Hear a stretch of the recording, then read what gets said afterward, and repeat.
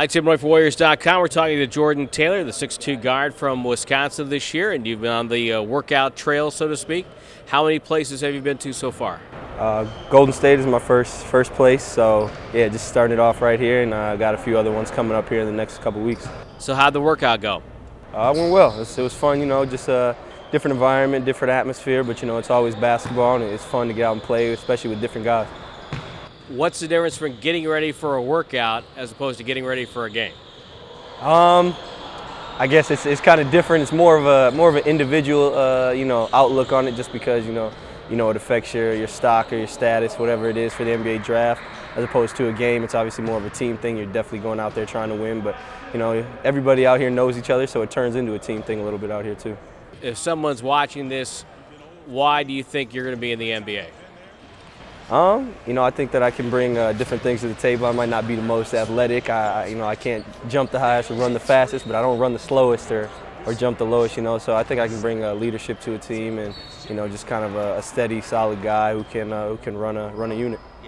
Let's talk about the leadership part. Last year, the Badgers had lost a couple of guys, one to, to the NBA, one overseas. Uh, you guys had some pitfalls during the season, but yet you're a shot away from being Syracuse, your shot in, in the game in, in Boston.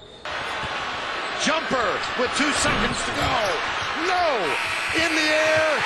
No again. What leadership things did you bring to Wisconsin last year? Uh, you know, we had a lot of guys who had been there for a while, but didn't have but didn't have much playing experience. So it was just a just a matter of trying to get on the same page.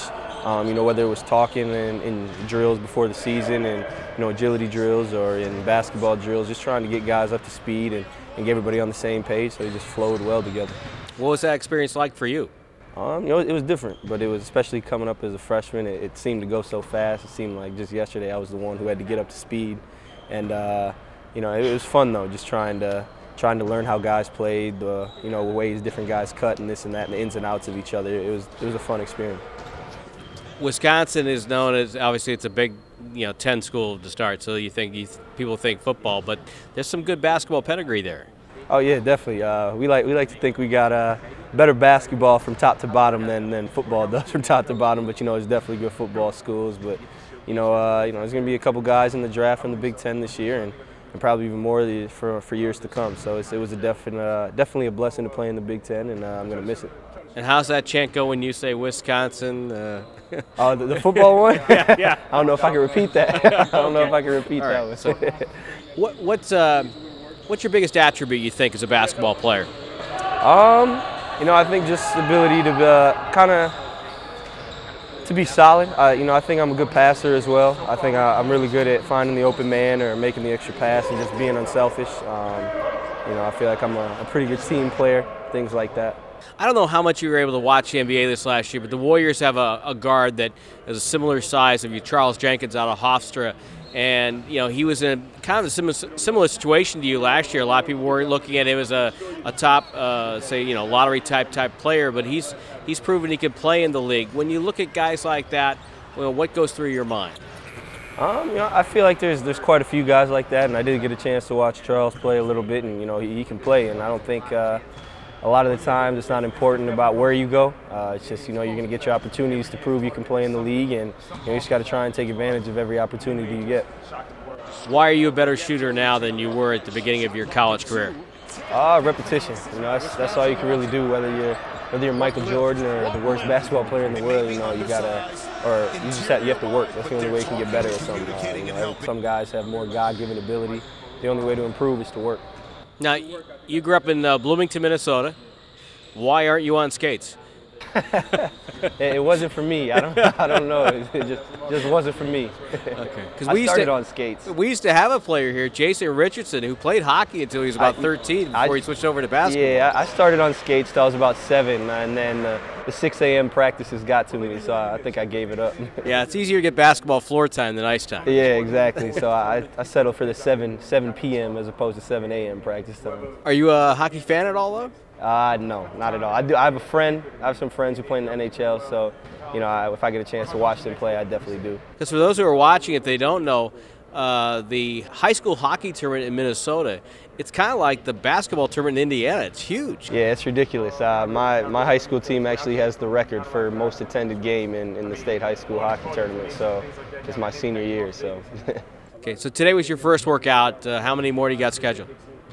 Ooh, probably nine or ten at least. Yeah. So and probably a couple more count, and counting. So. So kind of a whirlwind tour of the NBA.